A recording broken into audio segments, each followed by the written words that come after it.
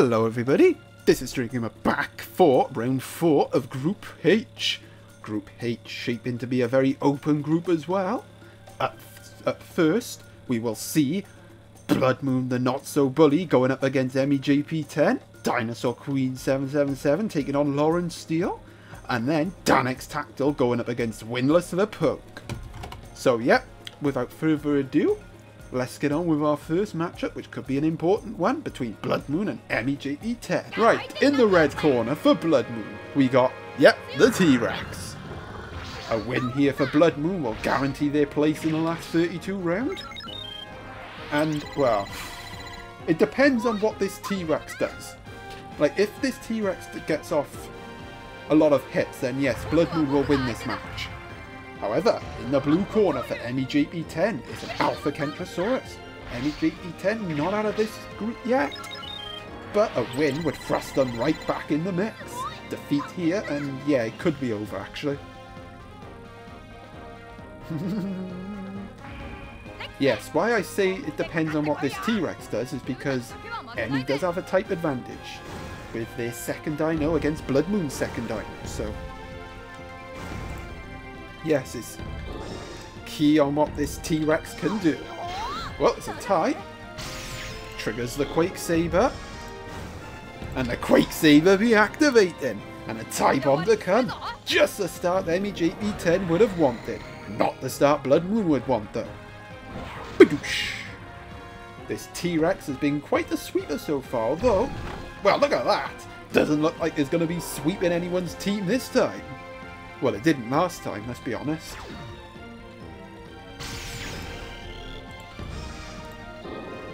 Ooh, gets off the Magma Blaster though. I believe this T-Rex is counter-type as well, so this is going to do big damage to the Kentrosaurus. Oh, look at that! Even Stevens, both of our combatants getting off big hits. But it's Kentrosaurus taking out the T-Rex just what Emmy would have wanted. The T-Rex only getting off one hit, and Blood Moon is 1-0 behind. And might be in trouble here, because, as I said, this Baryonyx will be at a tight disadvantage against any second dino, which is a Pentaceratops, I might add. So yes, Blood Moon in a bit of a pickle again. Can they get out of it? Well, they got to get past the Kentrosaurus first. Will EmiJP10 get a second win in this tournament? Really put the cat amongst the pigeons.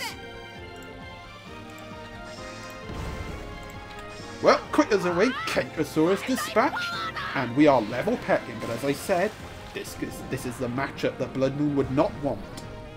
Baryonyx taking on this Pentaceratops. Yeah, this could be a key matchup here. If EmiJP10 can get some momentum, get the hits going, then yeah, I think they will win this match.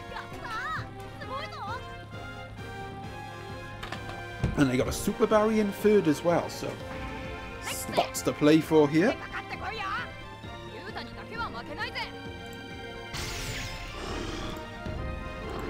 Oh, it's a tie. Wow, even ties favour the Pentaceratops. Another tie. Ooh, the Barry does get the first hit. And it's a water sword, but again... Oh, that's right, the Thunder Driver has been triggered, so there'll be no type disadvantage now, so normal damage will be dealt. So Blood Moon might not be in as big a pickle as we thought, but this Atomic Bomb will do damage to the Barry. Boosh! And the Thunder Driver's going to get triggered as well.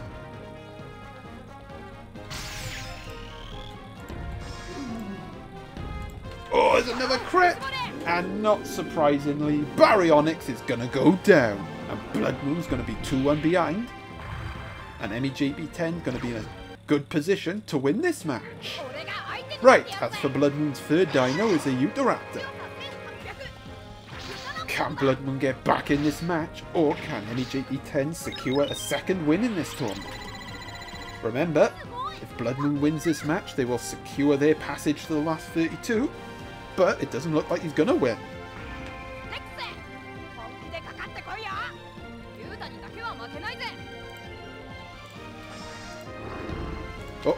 Oh.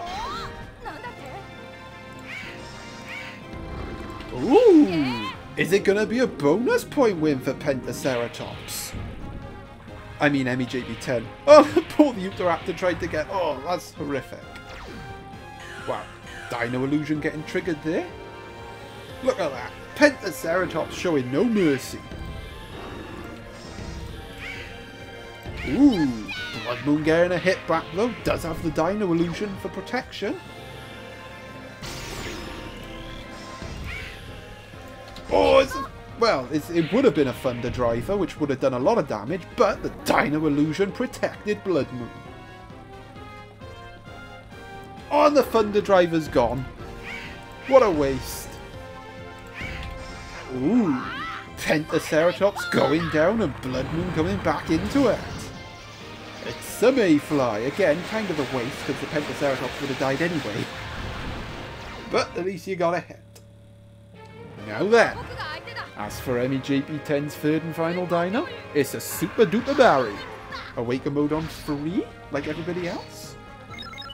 Can EmiJP10 hold on to get this win, or will Blood Moon come back into it and win themselves?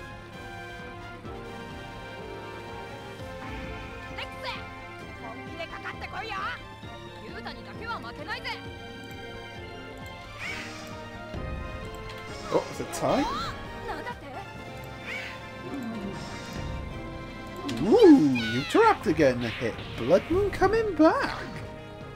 That's once. Hopefully we'll see the Awaken mode. Oh, it's a hit from the Barry. That should be the losing bonus point guaranteed for EmiJP10. Twice. Oh, there it is. There's the win for EmiJP10. The one-trick pony Blood Moon suffering a second straight defeat. And unfortunately, we didn't see the Awaken mode again. Ugh. Ooh, that could be a big win there for EmiJP10. Blood Moon misses the chance to secure qualification from the group stage. Well then, stirs things up, doesn't it?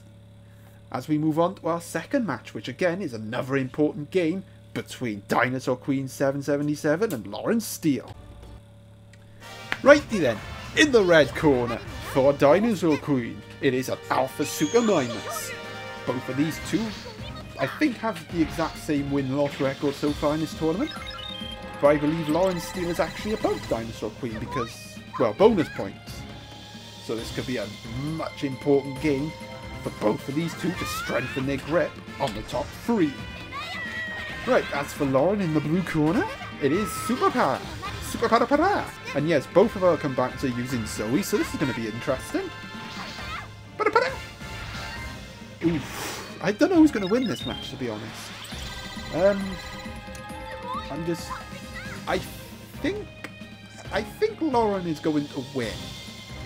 But it's going to be a tight... I feel like it's going to be a tight one. Well, I hope it's a tight game. Wouldn't want a one-sided massacre, would we? Oh, that's not... Oh, oh there's the Dino Stuffer. Awaken mode on 3, by the way.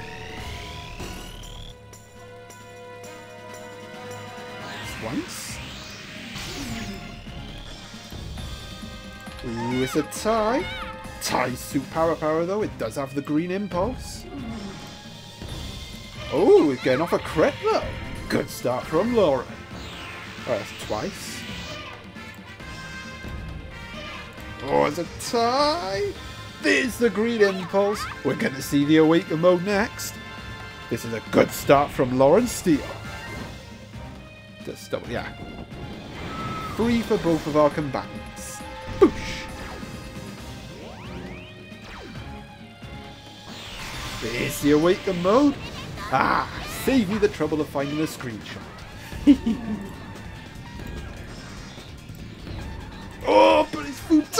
Cannon! Dinosaur Queen striking back with her first proper attack of the match, and it's a Futaba Cannon. Well, technically she got a hit earlier, but the Dino Stuffer said no. And look at that! Back up! We're level pecking yet again. Ooh, but it's the Paris getting the hit. And the Alpha Super Minus goes down. Okay then, as for Dinosaur Queen's second dino is Super Torosaurus. Torosaurus star.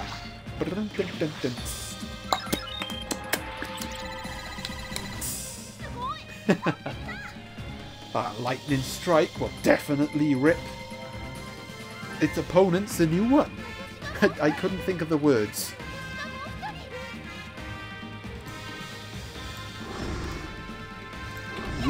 But it's Paris getting a cheeky little hit there. Okay, that's once. Oh, that's a tie. Oh, it's Green Impulse again. Has Lauren turned the screw on this match? Whee! Flap. Flap. And slice. Blech. Wow, loads of damage. Torosaurus not looking good at all.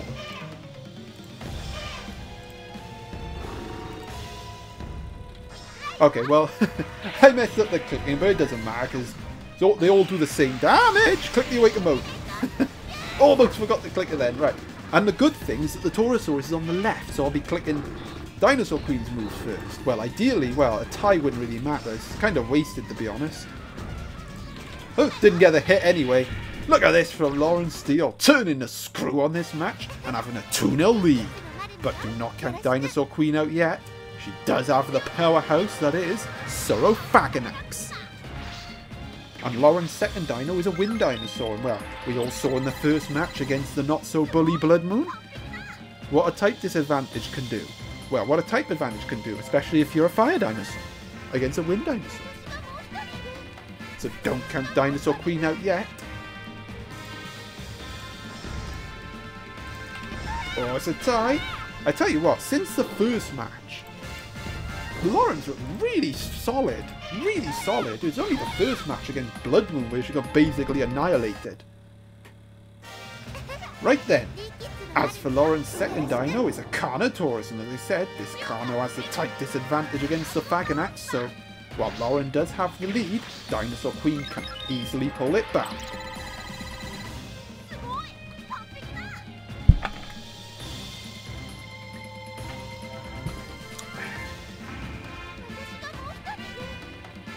So I wouldn't put this match in the books yet, and we have had some comebacks. Ooh, it's a tie. Well, at least Dinosaur Queen doesn't have to worry about Green Impulse anymore. Well, here's a hit, but again, look how little damage it's going to do. Yeah, see what I mean? Type advantage can be a killer in, the, in this match. In these matches. Another tie. Although, Lauren has guaranteed herself at least a losing bonus point, but at this point, I think she's going to win. Oh, it might be enough. It is ninja attack, and it does have a lot of power in the crit. I think this is going to be enough to get the bonus point win. Yep, there it is. It's a bonus point win for Lauren Steel. How big could that be? And that will in fact put her on top of Group H fascinating. It well, it puts her on top for now, and I think, given Blood Moon's defeat as well, might secure her place in the last 32. But yeah, Lawrence Steele looking really good after that first round defeat. As for Dinosaur Queen 777, didn't quite happen. You know, couldn't. Lost a lot of momentum there with the uh, Torosaurus. But, you know, there we go. That's match numero deux done. Now on to another important game in this group between Danxtactyl and Winless Lepoke. Alrighty then, in the red corner for Danxtactyl, it is a Ulura Titan. Danxtactyl ended Blood Moon's winning start last time out. Can they heap more misery on Lepoke? Well, I, th I think Danxtactyl will win this match. If I'm honest. Looking at the teams, looking at the matchups, I think Danxtactyl will win. Although, stranger things have happened in this tournament. In the blue corner for Lepoke, we got an Abelisaurus. Lepoke yet to win in this tournament, hasn't got going at all, and it really hasn't happened. But can they get a win? It, I don't think they will win this match, to be honest, but you never, again, you never know. It could happen, it can be done. Especially as, you saw in the first match, Danxtactyl looking vulnerable. but has definitely shapened up, sharpened up in the last two matches, I might add. Mmm, there's a crit. Just the start LePoke would have wanted.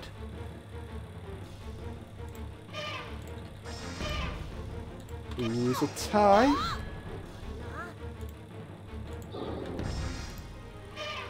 Ooh. Well, this is just the start, as I said, LePoke would have wanted. A fast start from the Abelisaurus. And a 1-0 lead. Can this be the game that LePoke wins? I should also point out a win for Danxtactyl will take them through to the last 32. Alright, as for their second dino, it is a Yangchuanosaurus. This Yangchuanosaurus does have the type advantage over LePoke's second dino, so Danxtactyl is easily capable getting back in this match, and well, this Yangchuanosaurus has been pretty solid for Danxtactyl so far. Really, really strong, so wouldn't bet against it pulling it back for Danxtactyl, yeah? Oh, they're not doing it so far. Look at this from LePoke, getting another hit on the board. Slippy, slippy, slap, slap. And kick. Boosh.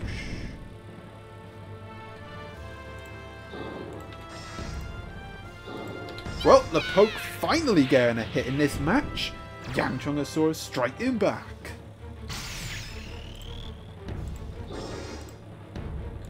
Oh, oh, LePoke getting another hit here. Another Struthio rush coming in too. Will we see Volcano Burst?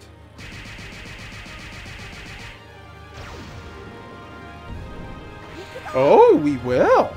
Well, this is just the performance LePoke has needed.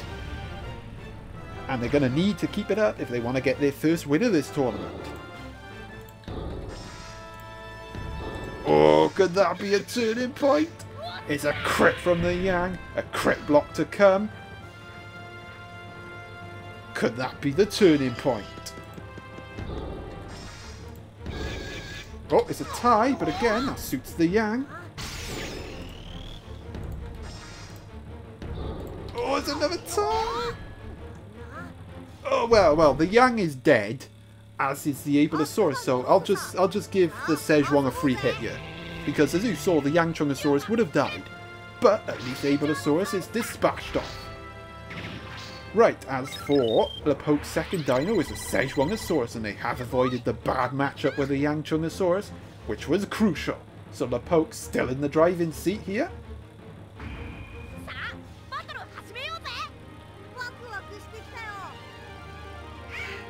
Okay, I'll just give him... The, There's the free pet. Because, again, the Yangchuanosaurus would have died in that tie. However, do not count Danxtactyl out yet, because they do have Brontokins. And, well, if Token Nightmare's matches are anything to go by, do not underestimate the power of this beast. Capable of winning it for Danxtactyl on its own.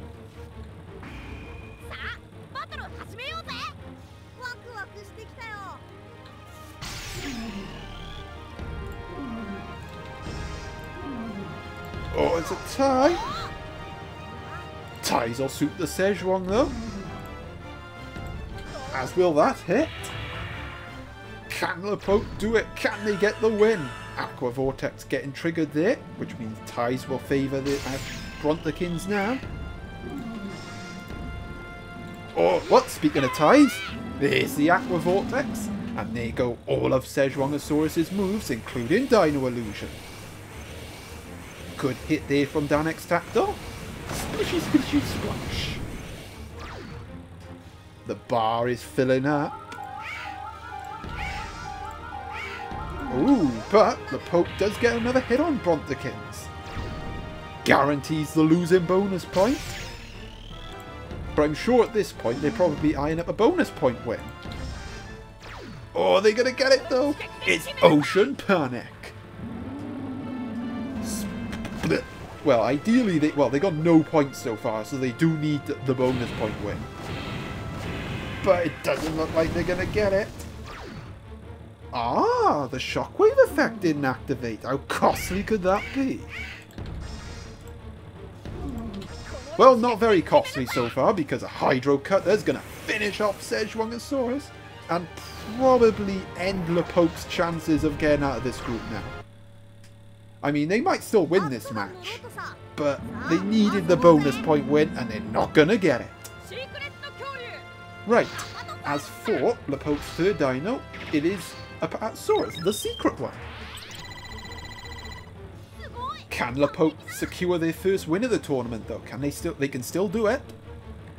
And they, well, they, they've at least guaranteed that they'll get off the mark, so they won't finish on zero.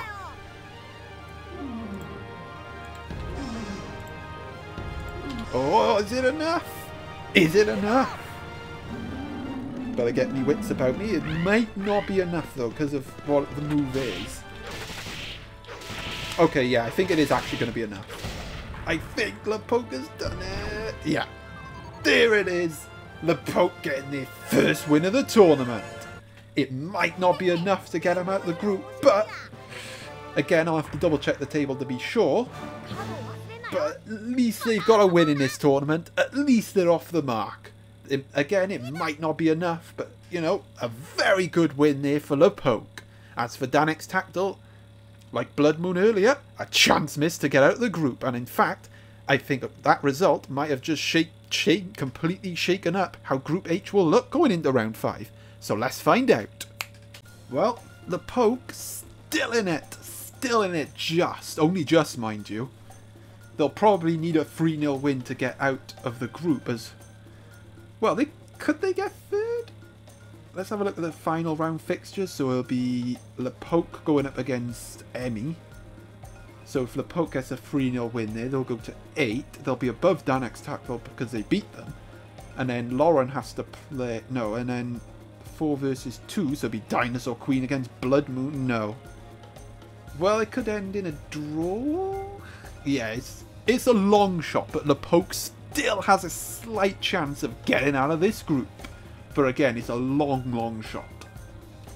But yes, look at this. Lauren Steel, top of Group H going into the final round. And I would probably say, let's have a look. If Emmy gets a 3-0 win, say Danxtactyl wins, they go above Laura. And then, yeah, it's, it's not guaranteed, but she's pretty much 90% through because if Blood Moon wins their match against who they play against Dinosaur Queen, that'll put them level on points with Lauren. But because Blood Moon again won their matchup, they'll go above Lauren. If Danxtactyl gets the win against Lauren, they'll, again they'll go above her. And if EmiJP10 gets a 3-0 win, then they will go above her, so she'll be fourth. But yeah, this again a, quite a long shot. So I'm not saying that these three won't win in the final round. I doubt Emmy will win 3-0 though. That's that's the big stipulation. So yeah, I think Lauren is pretty much through. But yeah, look how tight it is. All, all to play for you. Danix Danxtactyl and Blood Moon level on points, but again, by virtue of the fact that Danxtactyl beat Blood Moon, they are above them. And then EmiJP10 getting a win to really strength, really give themselves a fighting chance get out this group, and then Dinosaur Queen still in it. So yeah, okay, for Dinosaur Queen to go through, she would need to obviously beat Blood Moon, which would take her up to 9 points. Yeah, just hope she wins, and then Danxtactyl gets beaten by Lauren. Actually, no. A win would do it. Providing that Emmy doesn't beat Lepoke. So yeah, just a win for Dinosaur Queen 777. So yeah, all at the play for. Plenty to play for in Group H going into the final round. So yeah, hope you enjoyed. If you did, please leave a like, subscribe, do that stuff that people do. And stay tuned for next time where we conclude round 4 with Group I. And until then, this is Strange Gamer signing out.